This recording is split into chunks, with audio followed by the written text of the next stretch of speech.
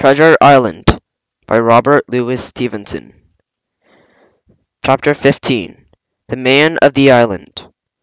From the side of the hill, which was here steep and stony, a spout of gravel was dislodged, and fell rattling into the bounding through the trees.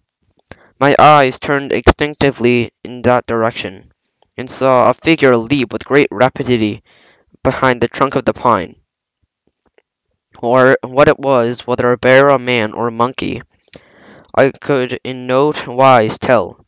It seemed dark and shaggy, more knew not. But the terror of this new apparition brought me to a stand. I was now, it seemed, cut off upon both sides behind me and the murderers, before this lurking nondescript, and immediately I began to prefer the dangers I had known to throw I knew not. The silver appeared himself less terrible in the contrast of this creature of the woods. I turned on my heel and looked sharply behind me over my shoulder, began to retract myself in the direction of the boats, and the instantly the figure reappeared, and making a wide circuit, began to head me off. I was tired at any rate, but I'd been fresh as when I arose. I could see it, it was vain for me the content and speed with certain adversary.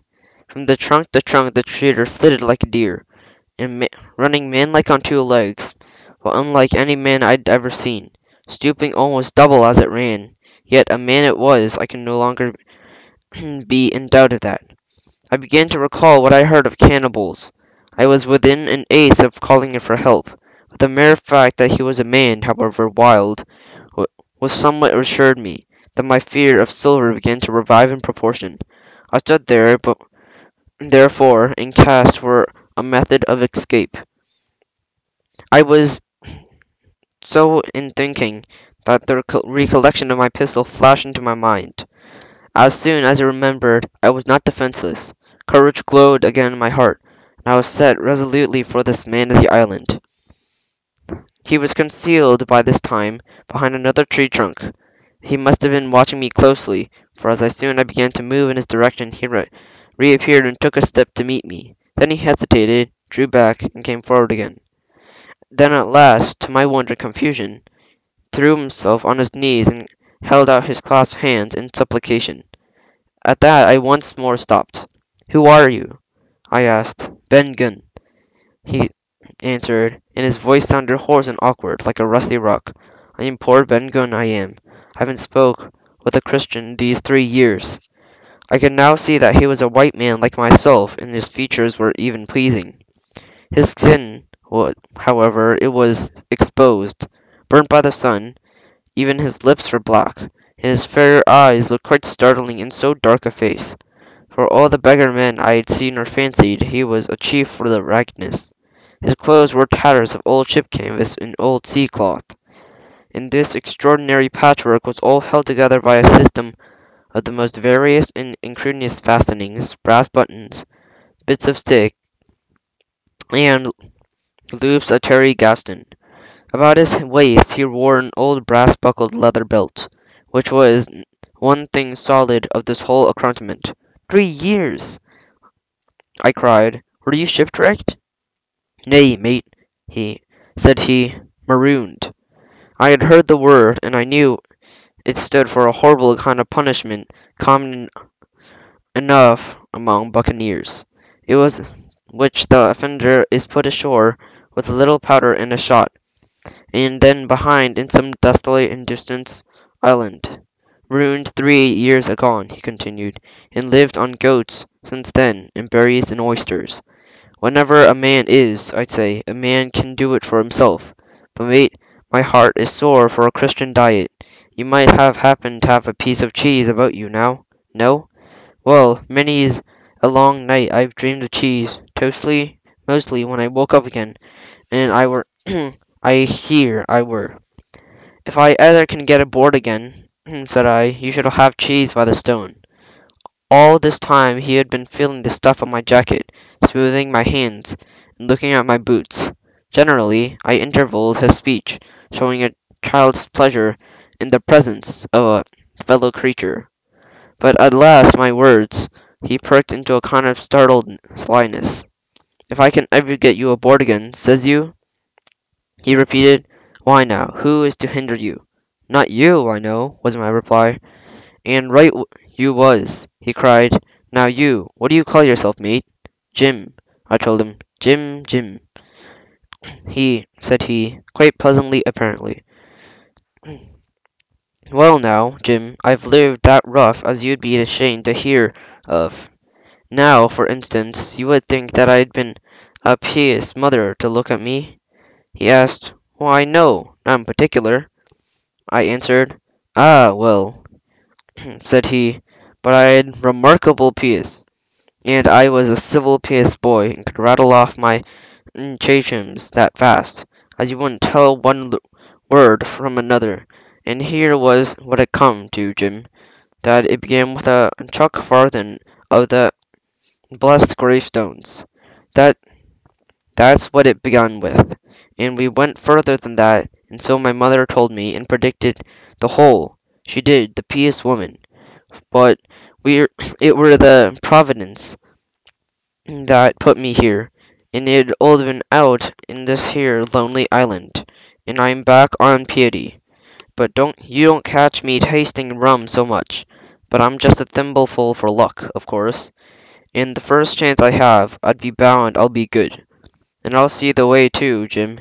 Looking all around him, lowering his voice to a whisper, I'm rich. I now felt that poor fellow had gone crazy in his solitude, and I suppose I must have shown the feeling in my face, for he repeated the state, statement hotly. hotly. Rich, rich, I say, and I'll tell you what, I'll make a man of you, Jim. Ah, Jim, you'll bless your stars, you will.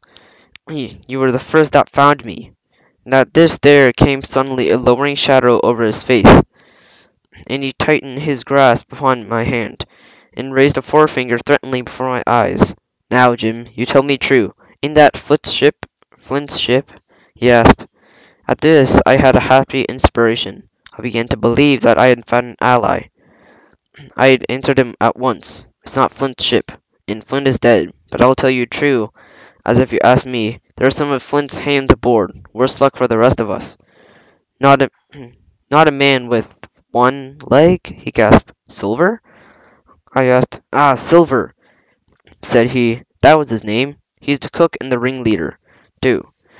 He was still holding me by the wrist that he gave it quite a ring. If you were sent by Long John, he said, I'm, I'm as good as pork, and I know it. But where was you, I suppose? Do you suppose? I had made up my mind in a moment, by the way of answer told him the whole story of our voyage and the predicament in which we found ourselves.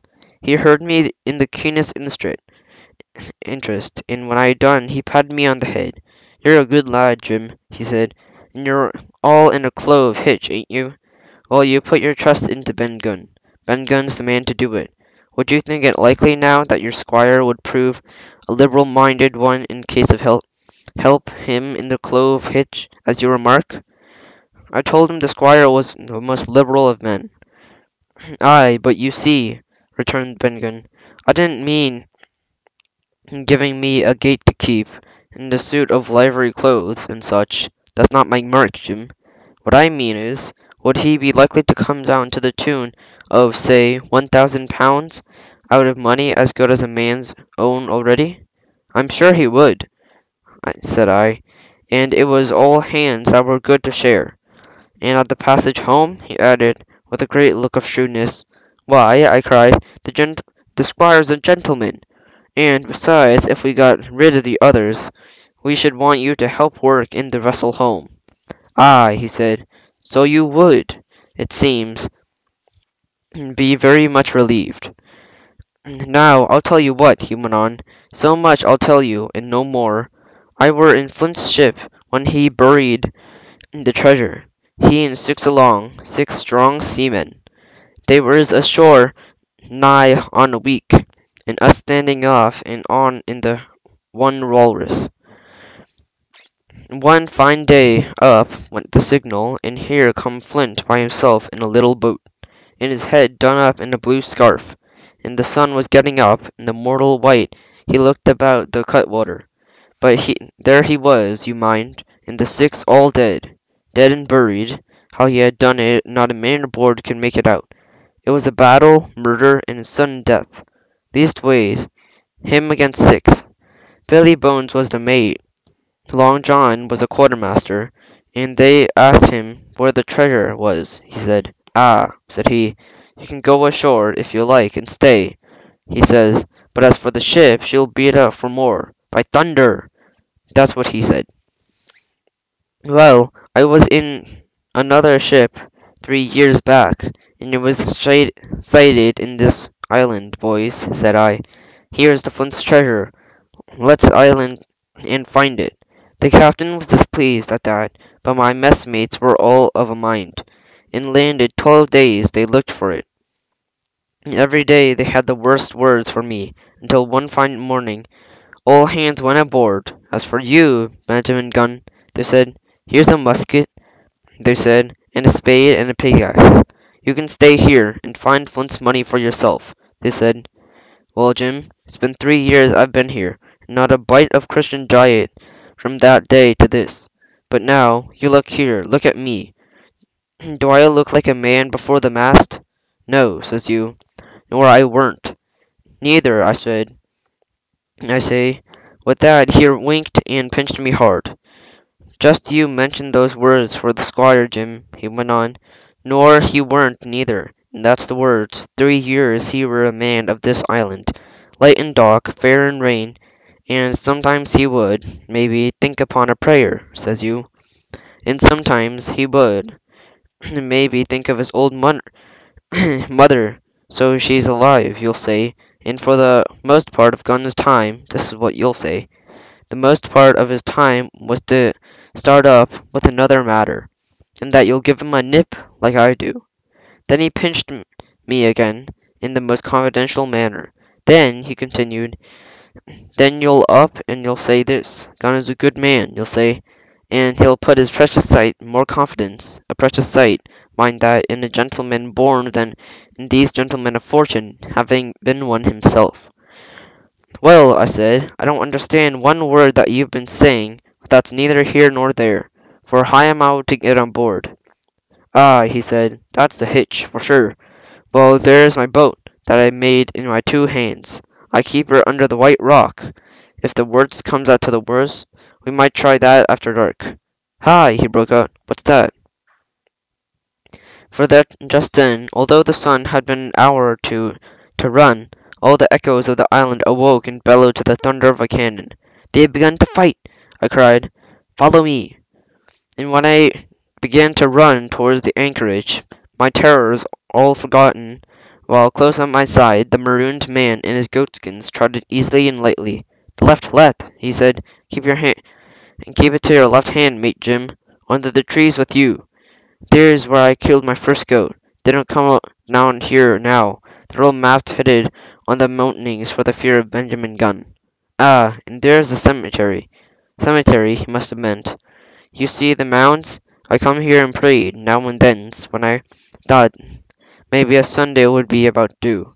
It weren't quite a chapel, but it seemed more solemn-like. And then, says you, Ben Gunn was short-handed, no chapelling, nor so much as a Bible and a flag, you say, for he kept talking as I ran, neither expecting nor receiving any answer.